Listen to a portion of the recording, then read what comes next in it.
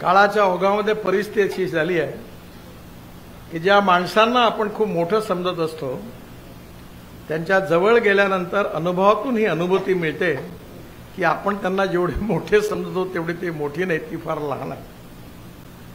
आणि दुरून ज्यांना आपण अतिशय लहान समजत असतो त्यांच्या जवळ गेल्यानंतर मग आपल्याला माहिती होतं की आपण यांना समजत होतो एवढे लहान नाही हे खूप मोठे आहे. मला आठवतंय मी आणि मुंडे साहेब एकदा महाराष्ट्रात सरकार असताना आमच्या हिंगणा भागात एक रेखाताई पवार नावाच्या महिला आम्हाला भेटल्या. आता त्यावेळी त्या ज्या समाजाच्या होत्या त्यांच्यावर पोलिसने बरेच कारवाई केली होती. त्यांचा हातभट्टीचा व्यवसाय होता. आता त्यामुळे ते सगळं त्यांचा धंदा बंद झाल्यामुळे त्या त्या ह्याच्यात त्या कम्युनिटीमध्ये राग नाराजी होती पोलीसच्या विरुद्ध. बरोबर त्या रेखाताई पवारांशी माझा संबंध झाला. आणि आल्यानंतर मग त्या पार्टीत आल्या आमच्या. आणि ज्यावेळी त्या पार्टीत आल्या ते एका जिल्हा परिषदेच्या निवडणुकीमध्ये मी ठरवलं की यांना आपण उभं करू. आणि मी अशी चूक सहसा करत नाही पण मी केली.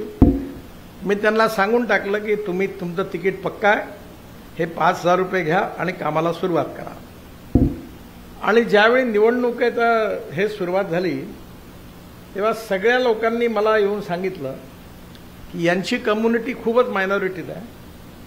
आणि दुसरी मेजॉरिटीमध्ये आहे या निवडून नाही येणार. तेव्हा त्या कम्युनिटीमध्येच जर आपण तिकीट दिलं तर निवडून येता येईल.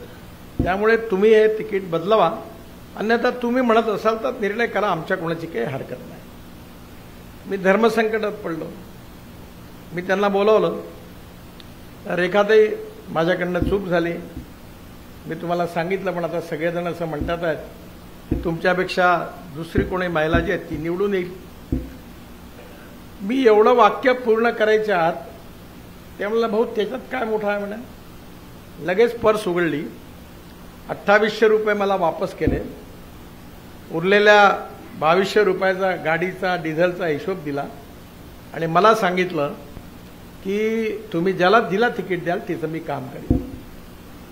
आता मी अनेक वर्ष पार्टी चालवली. खूप मोठे मोठे लोक पाहिले. आणि तिकीट नाही मिळालं की कसे शिव्या शाप देतात घराच्या बाहेर काढतात. राजकारणामध्ये याचे खूप अनुभव माझ्याजवळ जमा आहेत. मोठे मोठे विद्वान समर्पित तिकीट नाही मिळालं की खूप शिव्या देतात. मला दुर्भाग्य होतं की मी पार्टीचा प्रमुख मी अनेक वेळा ते तिकिटाच्या समजवायला जावं लागायचं.